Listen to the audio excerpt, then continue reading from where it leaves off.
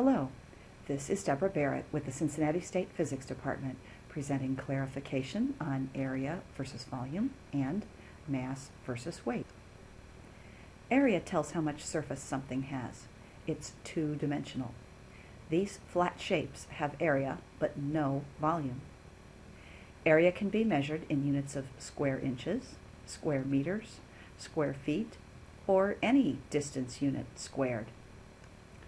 Volume tells how much space something takes up. The following objects have area because they have a surface. They also have volume because they occupy space. Volume can be measured in units of cubic inches, cubic meters, cubic feet, or any distance unit cubed. Volume can also be measured in cups, pints, quarts, gallons, and liters. Those units are not cubed to indicate volume. They indicate volume just as they are. Since liters is a metric unit of volume, it can be modified with the usual prefixes. So you can talk about milliliters. That's a popular metric unit of volume. You have to be careful not to pronounce it as millimeters because millimeters is a length unit as opposed to milliliters, which is a volume unit. Now on to the difference between mass and weight. Mass is the amount of matter in something, how much stuff is in an object. The units for mass in the metric system are grams and kilograms.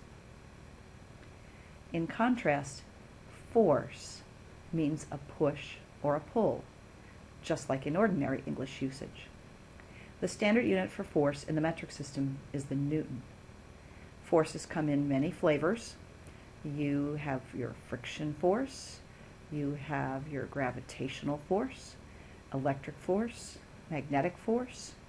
You have the force that you apply personally when you push or pull on something. And there are other forces as well. Always, force means a push or a pull. And the standard unit for force is the Newton. We deal with weight, with the Earth's gravitational force, so often that we give it a short name. We use the word weight as the short name for the Earth's gravitational force pulling on something. Or really, for any planet's gravitational force pulling on something. Well, gee, for that matter, we also use the word weight when we talk about the moon. We'll say that uh, something weighs a certain amount when it's on the moon.